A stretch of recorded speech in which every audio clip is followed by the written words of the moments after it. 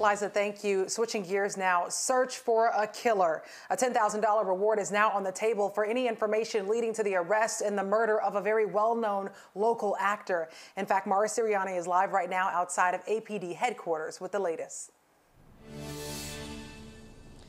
That's right. Thomas Jefferson Byrd was killed early Saturday morning. This was off of Belvedere Avenue, and this morning police are still looking for his killer. They are trying to track down this person. So Atlanta police are also still working to figure out what led up to this and a possible motive. But we know that the famous actor was uh, shot several times and he died there at the scene. Now, Byrd, who was 70 years old, is well known for starring in several films by director Spike Lee. Since word of his death, many in the film and entertainment industry have spoken out, including Lee, friends and colleagues, calling his murder senseless. So there is a $10,000 reward for information leading to an arrest. Atlanta Crime Stoppers posting about that award. So uh, that reward, I should say. So you can remain anonymous. Again, if you have any information, you're asked to pass that along to police.